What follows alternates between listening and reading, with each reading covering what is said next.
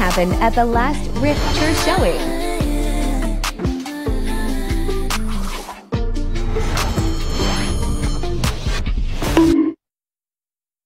What the?